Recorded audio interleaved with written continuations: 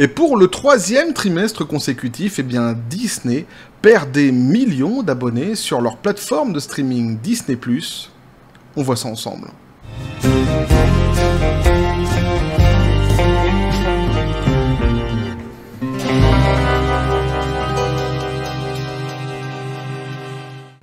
Eh oui, ça y est, les chiffres sont tombés, ils sont là Et ça va être fort intéressant de décrypter tout ça, petit café les copains.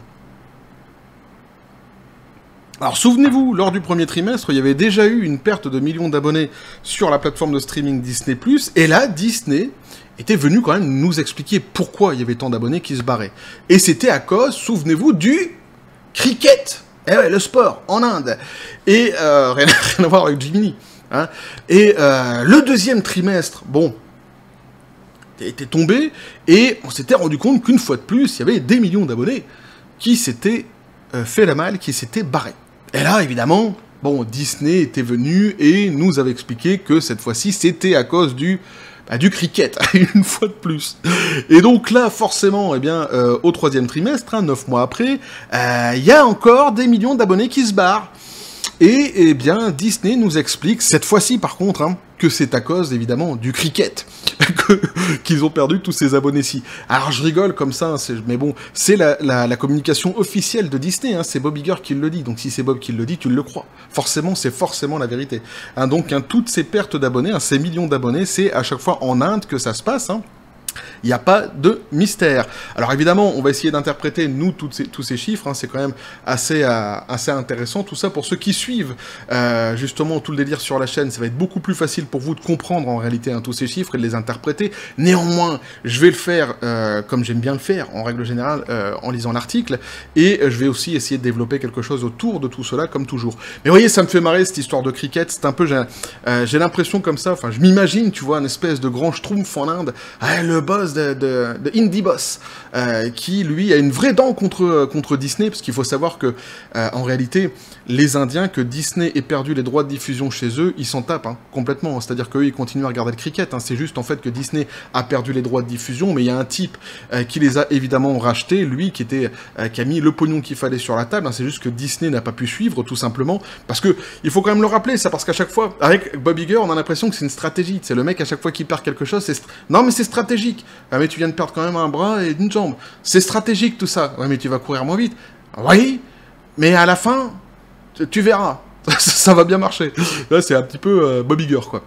Mais donc eux ils s'en tapent, hein, ils continuent à regarder euh, euh, le, le cricket. Mais donc tu vois, j'ai l'impression d'avoir cette espèce de chef indien, tu vois, le grand Schtroumpf d'Inde, hein, euh, qui lui a une dent contre Disney et qui s'est dit alors par contre tu vois Disney moi Bob Iger c'est un type que j'aime pas beaucoup. Ah j'ai décidé de le faire morfler. Donc vous allez pas tous vous barrer d'un coup. Ouais je sais c'est chiant va falloir continuer comme ça à payer euh, chaque mois mais non. On va faire trimestriellement. D'abord, quelques millions vont se barrer le premier trimestre, et puis quelques millions le deuxième trimestre, et puis quelques millions le troisième trimestre. Comme ça, lui, ça lui met bien dans les gencives, et en plus, il passe pour un gland parce qu'il est obligé de dire à tout le monde qu'à chaque fois que c'est à cause de nous. tu vois J'imagine un petit peu l'espèce d'histoire comme ça fomentée. Euh, par, le grand schtroumpf de l'Inde, évidemment. Euh, donc, on commence d'abord avec un article, je sors de mes conneries, euh, qui lui nous lance assez bien le sujet, puis après on ira sur un autre article qui lui nous donne des chiffres assez précis qui sont vraiment intéressants à interpréter, puisque avec Bob Iger, hein, Bobby pour les intimes, Bob Aigreur, Bob le bricoleur, il y a toujours des écrans de fumée qui sont mis ici et là hein, pour essayer de nous faire croire que c'est moins pire que si c'était plus pire. Eh, évidemment. Donc un haut star de Disney perd, roulement de tambour, 12,5 millions d'abonnés en un trimestre en raison d'un manque de cricket. Eh ouais. Disney Plus Hotstar a perdu près d'un quart de sa clientèle, soit 12,5 millions d'abonnés au cours du trimestre se terminant en juin, a révélé Disney dans ses résultats mercredi, le revers en cours du streamer axé sur l'Inde qui est sous le choc d'un manque de contenu de cricket. Ah là, ils sont, ils sont plus que sous le choc, là, ils sont interchoqués. C'est comme si t'es interloqué, mais, euh, mais tu te fais choquer en même temps, tu vois, t'es interchoqué. C'est pire. Hein c'est moins, moins facile pour, euh, pour se relancer derrière. Donc, on va sur l'autre article ici qui nous donne les chiffres qu'on va pouvoir justement expliquer ensemble. Pour le trimestre, Disney a dépassé les objectifs de Wall Street en matière de bénéfices par action, mais a raté ses revenus. C'est ballot. Euh, la souris a déclaré un chiffre d'affaires total de 22,3 milliards de dollars en hausse de 4% par rapport au trimestre de l'année précédente et un bénéfice d'exploitation de 3,6 milliards de dollars en baisse de 6%. Les dirigeants de Disney avaient précédemment averti Wall Street que des pertes d'abonnés arriveraient pour le service de Disney Plus Hotstar dans le cadre d'un changement de stratégie vivant, vivant visant à s'éloigner euh, des abonnés, mourant plutôt du coup, euh, visant donc à s'éloigner des abonnés à faible marge, la perte des droits sportifs clés dans la région a également ouvert la voie à un, un roulement important sur le front Hotstar. Les pertes dans l'unité de vente directe aux consommateurs ont été réduites de moitié par rapport à la même période de l'an dernier. Ici, ça va être vraiment intéressant vraiment de comprendre ce qui est en train de se passer. Et comme j'ai dit, ceux qui suivent le délire sur la chaîne, vous allez très vite comprendre en réalité l'écran de fumée euh, qui a été mis en place ici par Bob Iger, sans, même sans parler d'écran de fumée, en tous les cas, les résultats de, sa stratégie tout simplement. Les opérations de DTC ont enregistré une perte de 512 millions de dollars contre 1 milliard de dollars dans la même période en 2022. Le bénéfice d'exploitation des réseaux linéaires de Disney Plus a chuté de 23% à 1,9 milliard de dollars sur des revenus de 6,7 milliards de dollars, en baisse de 6%. Les revenus de la branche Parc, Expérience et Produits de Disney ont augmenté de 13% à 8,3 milliards de dollars et le bénéfice d'exploitation a augmenté de 11% à 2,4 milliards de dollars. Donc on va s'arrêter juste ici deux secondes hein, pour expliquer ce qu'on vient de, euh, lire. Hein pour expliquer d'abord pourquoi on est passé de 1 milliard de dollars de pertes l'année euh, précédente à 512 millions cette année. Alors d'abord, il faut toujours se rendre compte qu'on est dans la perte. C'est-à-dire que même si c'est moins qu'un milliard, eh ouais, mais c'est toujours un demi-milliard de perdus. Et euh, pourquoi? Eh bien, euh, ce chiffre-ci, qui a été coupé, donc hein, qui a été divisé par deux, on le doit en grande partie, ou plutôt ils le doivent en grande partie, aux coupes budgétaires qu'a entrepris justement Bob Iger ces derniers temps, puisque on sait une chose de Bob Iger, c'est que s'il n'a aucune vision à long terme, en tous les cas pour l'instant, qu'il aurait dévoilé au grand public concernant euh, les productions, concernant plus globalement d'ailleurs même le divertissement, ce que, ce que va proposer comme qualité de divertissement dans le futur la maison Grandes Oreilles, une chose que l'on sait de Bob Iger actuellement, c'est qu'il est au charbon pour essayer de récupérer le plus d'argent possible. Et pour ce faire, il a euh, licencié des milliers, des milliers d'employés à tour de bras. Euh, il a fermé des euh, attractions, il a augmenté les prix des tickets des parcs d'attractions et aussi les formules de streaming qui ont aussi augmenté. Tout cela, en fait, a contribué à arriver à une perte de 512 millions de dollars au lieu de 1 milliard l'année passée. Donc ceci, si vous préférez, explique cela. En revanche, malgré tout cela, ils perdent toujours en réalité donc un prêt d'un demi-milliard. Eh ouais, 2 dollars. Pour ça que je dis qu'évidemment, les chiffres sont à interpréter et à pondérer pour bien les comprendre. C'est pour ça qu'à côté, on nous dit que c'est une chute de 23% d'un côté, de 6% de l'autre, etc., etc. Donc après, la raison euh, de la production ici des parcs, de 13% et 11% on nous dit ici. Alors pourquoi tout simplement? Eh bien parce que ce qui s'est passé, c'est qu'on l'avait déjà vu dans le second trimestre, hein, dans les chiffres du second trimestre, les parcs c'était euh, le seul domaine qui permettait à Disney de mettre un petit peu la tête hors de l'eau. Et euh, ce qui s'est passé dernièrement, c'est qu'il y a eu en fait, en réalité, une augmentation des prix des, euh, des parcs. Et ça n'a pas aidé à la fréquentation des parcs, au contraire, ça a justement fait infléchir la courbe de fréquentation des parcs. Mais alors pourquoi donc les chiffres sont, bons ici? Parce que c'est pas intervenu au début du trimestre, cette augmentation. Elle est intervenue justement vers la fin de ce trimestre-ci. C'est-à-dire que le vrai impact euh, de ce qui est en train de se passer dans les parcs, normalement, on devrait l'avoir dans le prochain trimestre. Alors, à moins qu'ils aient une, autre stratégie justement pour relancer ces fameux parcs euh, dans les mois qui sont à venir, euh, ce que l'on sait aujourd'hui, c'est que les parcs sont de plus en plus vides, de plus en plus vidés. On l'avait vu dans une précédente vidéo, c'est assez récent, c'est vrai, mais c'est ce qui est en train de se passer. Donc c'est pour ça que là aussi, les chiffres, même s'ils sont bons, sont surtout à, prendre en, considération sur une longue durée, en partant du second trimestre, euh, puisque si on, parle uniquement de ce qui est en train de se passer actuellement, la tendance est plutôt à l'inverse, c'est-à-dire que les parcs ne suffisent plus à Disney. Et alors ça, c'est pas moi qui le dis, hein, c'est euh, des analyses qu'on avait déjà lues ensemble, qui ont été faites par des, euh, des gens qui sont bien plus euh, informés que moi sur le sujet. Et en règle générale, de toute façon, toutes les presses spécialisées disent exactement la même chose. Mais ici, ça nous permet justement de comprendre un petit peu tout cela. On continue maintenant. Disney a enregistré un gain de 800 000 abonnés dans d'autres parties du monde, donc hein, niveau international. Pas mal, oui, mais aux États-Unis et au Canada, Disney a perdu 300 000 abonnés. Et là, évidemment, ça fait mal. Là, évidemment, ça fait mal. Pourquoi? Parce que déjà, Disney ne s'attendait absolument pas à perdre des abonnés au Canada pour eux, c'est vraiment l'endroit où ils étaient vraiment presque certains que euh, euh, même les augmentations de prix, etc., euh, auraient passé. En tous les cas, c'est ce que Iger disait par le passé. donc c'est un vrai coup de massue pour eux. Et le fait qu'en réalité, ils perdent sur leur territoire 300 000 abonnés, ça peut paraître rien, évidemment, parce que c'est les États-Unis, mais si, parce qu'en fait, ça participe à une dynamique actuelle chez Disney qui est une dynamique qui est très mauvaise. Donc forcément, quand on te dit tu as gagné 800 000 abonnés d'un côté, oui, mais tu en as perdu 12,5 d'un autre côté, et puis tu en as perdu 300 000 chez toi, évidemment, en réalité, on se rend compte qu'ils n'ont pas gagné grand-chose. Eh oui. Donc maintenant, on va écouter ce qu'il va nous dire, Bobby. Puisque Bobby a toujours des choses à dire. Et là aussi, c'est intéressant. Parce qu'on va se rendre compte qu'en réalité, quand je dis que tout ça, c'est les, résultats de sa fameuse stratégie, c'est exactement ce qu'il va nous dire ici. Nos résultats de ce trimestre reflètent ce que nous avons accompli grâce à la transformation que nous entreprenons chez Disney pour restructurer l'entreprise. Donc, hein, euh, comprenez par là les licenciements à tour de bras, etc., etc. Améliorer l'efficacité et remettre la créativité au centre de nos activités. Alors là, j'aimerais bien, euh, j'aimerais bien où y voit réellement la créativité. Mais euh, justement, il y, a des pistes là-dessus qu'on va peut-être essayer de développer dans une prochaine vidéo, justement sur Disney et sur cette fameuse créativité sur laquelle compte Bob Iger, et c'est pas celle qu'on croit nous. C'est pas celle justement d'une créativité peut-être dans les œuvres, dans les productions, dans l'imagination justement de ces productions-ci. Non, non, non, non. C'est une créativité qui serait plus financière. Il a besoin de génie de la finance, quoi. Des gens qui ont, euh, qui ont euh, du répondant, qui, peuvent imaginer certains plans assez intéressants justement pour lui, pour gagner le plus d'argent possible. On verra ça sans doute dans une prochaine vidéo.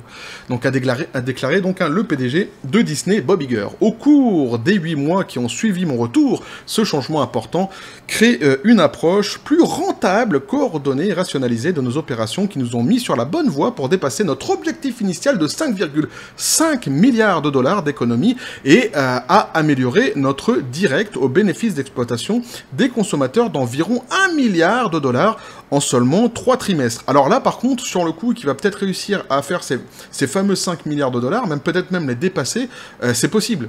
Vu ce qu'il est en train de faire actuellement, d'entreprendre comme coupe budgétaire, et vu ce qu'il a prévu euh, dans le futur, justement, c'est pour ça que je dis que j'ai plein de sujets Disney à traiter. Euh, j'ai d'autres vidéos que, que je ferai pour, vous expliquer mieux cela, mais effectivement, il pourrait y arriver. C'est-à-dire à son fameux 5 milliards, il devrait d'ailleurs même y arriver. Et peut-être même à le dépasser. Euh, tant il le licencie, comme j'ai dit, à tour de bras, et tant il fait énormément d'économies euh, à côté. Et on va voir que c'est un bulldozer actuellement, c'est-à-dire que là où il passe, l'herbe ne repousse pas. Ah ouais, c'est c'est pas pas fertiligène, pas du tout, tu vas voir. On verra ça dans les, précédentes, dans les prochaines vidéos, pardon.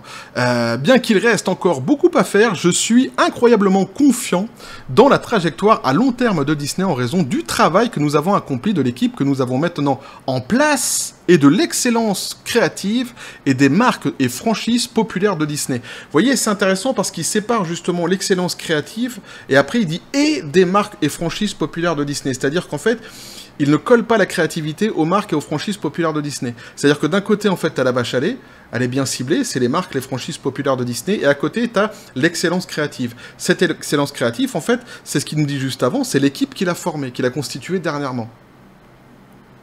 Évidemment, il a fait plein de choses dernièrement. Pour en arriver à dire ce qu'il est en train de dire ici. Et dont on verra sans doute les impacts très prochainement. Lors d'une conférence téléphonique avec les analystes de Wall Street, Iger a, clairement indiqué que Disney s'est recentré sur la rationalisation du volume de contenu que nous créons, ce que nous dépensons et les marchés dans lesquels nous investissons. Planifier l'avenir du streaming signifie néanmoins trouver une économie conçu pour offrir une rentabilité significative et durable. Donc comprenez par là, une fois de plus, il va s'intéresser seulement à certains segments, qui va poncer à mort pour essayer, comme justement, hein, comme, des vaches à lait, d'en tirer le plus de bénéfices possible, et il risque d'y avoir effectivement obligatoirement des oubliés à côté, et sans doute même beaucoup, puisqu'actuellement, en fait, l'entreprise n'est plus dans une capacité euh, de roue libre quelque part, hein. c'est-à-dire qu'elle est assez, euh, en tout cas lui, est fortement contraint par ce que les actionnaires lui demandent. Le conflit de travail qui a paralysé Hollywood a donné un coup de pouce à court terme aux objectifs de réduction des coûts. Alors le coup de pouce est ironique ici, on va comprendre après, on nous dit plus important de Disney. Donc un Kevin Lansbury, le nouveau directeur financier de Disney, qui normalement il me semble qu'il est intérimaire, c'est-à-dire on n'est pas certain qu'il reste, enfin bref, on s'en fout, pour l'instant c'est lui, hein, euh, a déclaré donc aux analystes que les dépenses de contenu pour l'expérience, pour l'exercice 2023 de la société, qui se termine en septembre, s'élèveraient à 27 milliards de dollars, soit environ 3 milliards de dollars de moins que prévu, en partie à cause de la WGA, du SAC-AFTRA et des grèves. Alors je dis pourquoi je dis que le coup de pouce, évidemment, il est, euh, il est assez ironique, euh, parce qu'en réalité, on sait euh, que aussi, à côté, Disney est en train de perdre énormément d'argent à cause de cette fameuse grève. Eh oui, c'est, ils font partie des, des, entreprises qui sont les plus impactées, on l'avait vu déjà dans une précédente vidéo. Donc ce qu'on peut retenir ici déjà, bah, c'est les 12,5 millions d'abonnés qui se sont barrés de leur plateforme Disney ⁇ Hotstar, hein, qui viendrait systématiquement à chaque fois d'Inde. Hein. C'est comme ça, c'est un petit peu comme les... Euh, euh, comment je pourrais dire euh, Comme les... quand, quand il y avait eu au Stade de France, il y avait eu des, Alors moi je suis plus en France, hein. donc peut-être que je vais me planter un petit peu, mais il me semble qu'il y avait eu un bordel qu'il y avait eu dernièrement, et le comment le ministre euh, était sorti en disant oui c'est de la faute des Anglais, c'est les Anglais qui ont foutu le bordel. Alors sur les vidéos tu te rendais bien compte qu'en fait non c'était pas du tout les Anglais, mais il persistait à dire que c'est les Anglais. Et là c'est un petit peu pareil, tu vois, on a l'impression avec cette histoire de euh, de, euh, de, cricket. Peut-être que c'est vrai, attention, hein. en tous les cas c'est la version officielle. Eh ouais, Bob Iger, hein. Bob, Bob ne ment jamais. Ah non, Bob, il est droit dans ses bottes, il ne fait que dire la vérité, évidemment. Donc un fort intéressant déjà de voir euh, ces euh, millions d'abonnés qui ont une fois de plus quitté la plateforme de streaming pour un, chiffre ridicule à côté de 800 000 abonnés supplémentaires dans le reste du monde, sachant qu'on voit à côté qu'en plus ils se font euh, amputer de 300 000 abonnés sur leur territoire, États-Unis et Canada, donc forcément tout cela est quand même assez risible. Et puis pour le reste, eh bien les chiffres, je vous les ai expliqués comme ça au fur et à mesure il y a du trompe-l'œil, notamment avec les parcs. Euh, il y a des explications sur le demi-milliard qui a été perdu au lieu du milliard de l'année passée. Donc, pour ça que je dis que c'est moins pire que si c'était plus pire. C'est-à-dire que oui, l'année passée, c'était un milliard. Cette année, c'est un, demi, demi-milliard. Mais es, en fait, t'es toujours dans la perte. En réalité, t'es toujours dans la perte. Euh, donc c'est quand même assez catastrophique ce qui est en train de se passer actuellement chez Disney, sachant qu'en réalité la facture ne fait que s'alourdir, hein, faut comprendre ça, et que euh, les plans d'avenir sont quand même, s'annoncent quand même assez sombres actuellement justement pour Disney, en tous les cas en termes de production qui devrait sortir. Il y a beaucoup de rumeurs qui sortent actuellement concernant Blanche-Neige. Certains disent que Blanche-Neige serait annulée. Alors c'est parti, me semble-t-il, d'une chaîne justement canadienne ou québécoise, je ne sais plus. Euh, J'avais juste vu le titre, hein, j'ai pas vu la vidéo, mais ça n'a pas été corroboré jusqu'ici par la presse spécialisée. Donc oui, j'ai vu cette rumeur passer, mais pour l'instant ce n'est qu'une rumeur, je ne sais pas exactement ce qu'il en est. On verra dans le futur hein, ce qu'il en sera de, son, de ce fameux Blanche-Neige. Quoi qu'il en soit, de toute façon, même s'ils le sortent plus au cinéma, mais qu'ils finissent par exemple par le sortir sur la plateforme de streaming Disney+, ce sera un gouffre financier, une fois de plus, pour euh, Disney, et donc, hein, en termes justement de productivité et de production, ça risque d'être très compliqué pour eux, dans le futur, de pouvoir redresser la barre. Il y a toujours cette idée, cette euh, impression qu'on a de pansements qui sont mis comme ça, mais sur des hémorragies qui sont quand même assez importantes hein, de la part de Bob Iger. Alors oui, il arrive toujours systématiquement à s'en tirer plus ou moins. On l'avait vu dans les précédentes vidéos sur les autres trimestres, c'était avec d'autres stratégies. On avait vu cette stratégie justement qui arrivait comme ça, qui était celle de la euh, coupe budgétaire et des licenciements qui devait forcément à un moment donné porter aussi ses fruits. C'est ce qu'on voit justement ici. Mais justement, tout cela est un peu en trompe-l'œil et c'est pas une société qui va bien en réalité. On n'est pas sur, euh, sur une société qui est, euh, qui est en train de surfer sur un succès extraordinaire et qui pourrait se permettre des marges de manœuvre justement intéressantes euh, euh, et, plus libres surtout dans, ces mouvements. Euh, au contraire, ici, on a vraiment cette impression de... de c'est même pas une impression d'ailleurs, hein, c'est de voir justement une espèce d'équipe au charbon pour essayer de récupérer, de penser les plaies, de récupérer le plus d'argent possible, et c'est ce qu'on a constaté ici dans les chiffres. Donc les chiffres sont quand même globalement assez mauvais chez Disney, ils arrivent à se maintenir une fois de plus avec quelques pansements qui ont été collés ici et là par Bob Iger. Évidemment, ils ont d'autres stratégies qu'ils vont mettre en place euh, dans les mois à venir. je vais essayer justement de le développer dans une autre vidéo pour pas mélanger vraiment tous les sujets. Mais Bob Iger a d'autres euh, stratégies, d'autres euh, cordes à son arc hein, pour essayer de d'éventuellement faire quelque chose. Et vous allez voir qu'on est une fois de plus, bah, on sera sur du Bob, hein. c'est-à-dire qu'on est sur sur de l'indécence quelque part, sur du mépris aussi hein, dans les stratégies qu'il veut mettre en place, sans doute qu'il mettra en place en tous les cas dans le futur. Ça va être intéressant de voir ça ensemble, de développer ça et d'interpréter ça toujours ensemble sur la chaîne. J'espère que j'aurai été quand même, quand même assez clair dans ce que j'aurais pu dire ici, hein, qu'on aura bien fait le tour, hein, on aura essayé d'interpréter, d'analyser tout ça. N'hésitez pas à me dire ce que vous, vous en pensez dans les commentaires, à vous abonner si le contenu vous a plu, à activer la petite cloche pour les prochaines notifications, les prochaines vidéos qui vont arriver, à balancer un like, à partager la vidéo. Vous avez mon Twitter, mon Facebook et le Discord de la chaîne qui sont dans la description des vidéos. N'hésitez pas à venir et à basculer du côté de la force absurde des réseaux sociaux. Sur ce, comme toujours, à la John Spartan, je vous dis paix félicité. Et alors, l'actualité Disney, en ce moment, c'est l'actualité la plus... Euh, comment je pourrais dire La plus en feu. Franchement, dans la pop culture, euh, on entend parler énormément de Disney. Pourquoi? Parce que vous le savez, déjà des productions assez bancales qui risquent de sortir prochainement, et puis tout le reste. L'argent qu'ils sont en train de perdre, les hémorragies, les déclarations de Bob Iger. Donc évidemment, on n'a pas fini d'en manger du Disney. Mais quelque part, moi, c'est ce que je disais justement en en parlant avec certains d'entre vous dans les commentaires, dans les, dans les vidéos justement Disney. Ça devient presque une de mes séries préférées, la série Disney. On suit ça, tu sais ce qui est en train de se passer actuellement. C'est-à-dire Bobby Iger, c'est un petit peu Ricky ou la belle vie. Tu sais, il est, sur, il est sur son train, comme ça, dans le, dans le clip du début. Et il me fait un, petit peu penser à lui. Ricky ou la belle vie, euh, ou... Euh, non, Ricky ou la belle vie, c'est bien. Bref, et que la force soit avec vous.